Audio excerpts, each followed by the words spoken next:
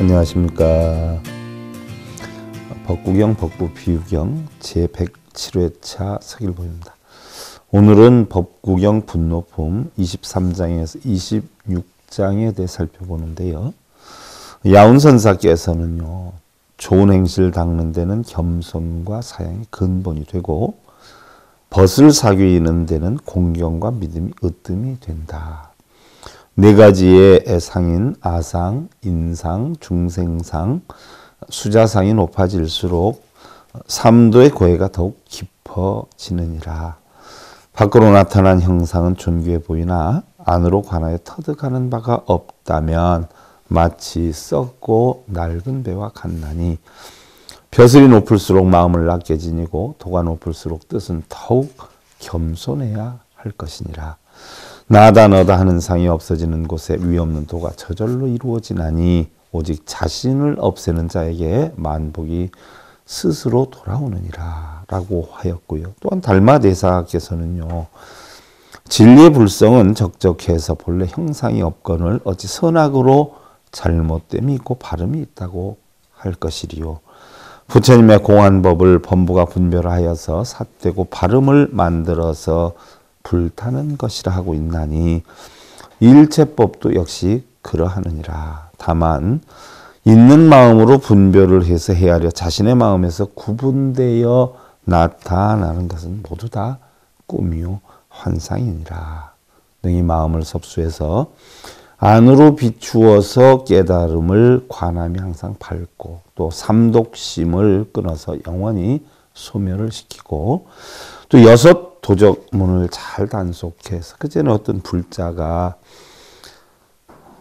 좀 자기 상이 높길래 여섯 도적놈을 잘 다스려라. 그 도둑놈을 데리고 다니면 뭐하냐 했더니 스님 저는 뭐 훔친 게 하나도 없는데 저한테 도둑이라고 하십니까? 라고 하는 분들이 있어서 야 이런 것도 함부로 얘기할 게 아니구나 싶은데 여섯 도적은요 결국 자기 눈, 귀, 코요 몸뜻을 얘기하는 거죠.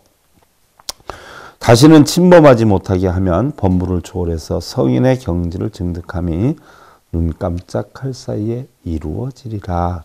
깨달음은 잠깐 사이에 있음인데 어찌 백발이 다 되도록 번거로이 닦기만 할 것인가라고 했는데 우리 불자님들 언제까지 닦으실기요? 언제까지 30분이면 깨닫는데 부처님께서는 법구경 분노품 23장에서 26장에서 하신 말씀이 자여피 대외유삼이요 여지피작 의멸기중이라 내가 다른 사람과 접촉할 때 큰 두려움이 세 가지가 있나니 마치 상대가 하는 짓을 알 수 있듯이 부디 자기 마음에서 그것을 멸할지어다. 구량행의 아위 비교여 여지 비작 의멸 기중이라. 두 가지 행의 이치를 갖추어서 내가 그를 위해서 가르칠 때 마치 상대가 하는 짓 알 수 있듯이 부디 자기 마음에서 그것을 멸할지어다. 고지승우 추원 악설이요. 욕상 승자 어언 의묵이라 만일 지혜로운 자라면 어리석음을 이기나니 거친 말과 나쁜 말로서 언제나 늘 이기려 하는 마음이 있으면 그 말에 대해 침묵해야 하느니라. 나를 없애는 게 우리 불교 수행이니까요. 이기려 하는 마음이 없으면 있으면 안 된다는 이야기죠.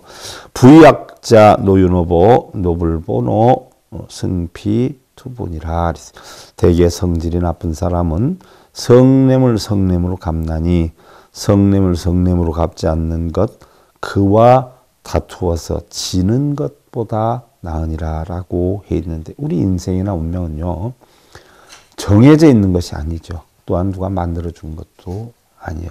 우리 각자 스스로 각자의 노력으로 만들어가는 것이고요. 어, 재능이라는 것은 누구에게나 있지만 우리는 그것을 이끌어내는 방법을 모르거나 또 이끌어내려고 하지 않는데 문제가 있는 것이고 보면은요. 늘 최선을 다하는 삶으로 행복에 문제하시길 기원드리면서요. 깨달음에 이르게 하는 SI 불교 교육 방송 법구경 법구 비유 경제 107회차 서길 보겠습니다. 감사드립니다. 행복으로 가는 징검다리에 서길봉 스님이 여러분들을 초대합니다. SIB 불교 교육대학에서는 더 듣다. 생활 속의 천수경. 달마대사 성관법. 현대생활 불교 법요지. 불교학개론. 성찰 스님 백일 법문 등을 비롯한 다른 불법, 다른 진리. 서길봉 스님의 SIB 불교 교육대